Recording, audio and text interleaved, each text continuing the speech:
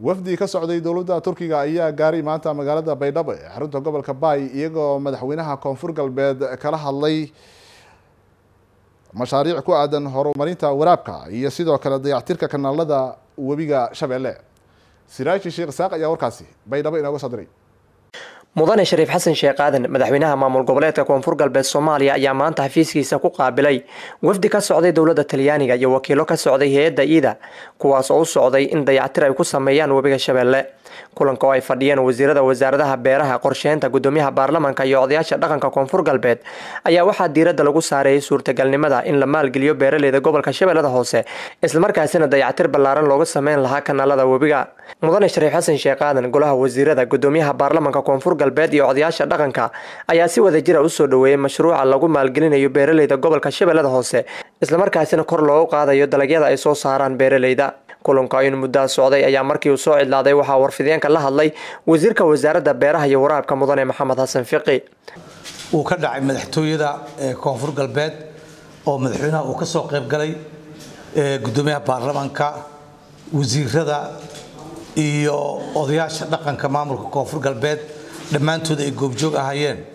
Kulanka ujeedadiis waxay ahayd daafuridda dhismaha kanaalka loo yaqaano brimi secundaria oo ku yaalla gobolka shabeellaha hoose kaasoo ah barnaamijka ugu culus ee wasaaradda beeraha ee koonfur galbeed ay ka fulisay ee koonfur galbeed marka la dhaho. Barnaamijkan barnaamij taariikh dheer la waaye oo soo bilaabmay laba kun iyo iyo tobankii hadna gabagadiisii waxay noqotay tobanka inuu noo suura galo barnaamijkii in la fuliyo. Barnaamijkan waxaa fankeeda bixinayo dowladda talyaaniga waxayna dowladda talyaaniga u soo marsiisay hay'ad la yidhaahdo cooperatione italiano. Micnaha iskaashiga dowladda talyaaniga ee soomaali leedahay ayaa la soo marsiiyey. Waxaana fulinayso kambaniye iyo hay'ado ay ka mid yihiin jefa terry soldata italiana iyo ida. Saddexdaa hay'adood si wada jir ah ayay midba mid kale u kabaysaa. Hadduu ilaah raalli ka noqdo barnaamijkaas waxaan jecelnahay sida ugu dhaqsiya badan leh in gobolka ugu hirgelo taasoo nolosha ummadda shabeellaha hoose ku nool iyo soomaaliya guud ahaanba dib u soo celin doonto hadduu ilaah raalli ka noqdo.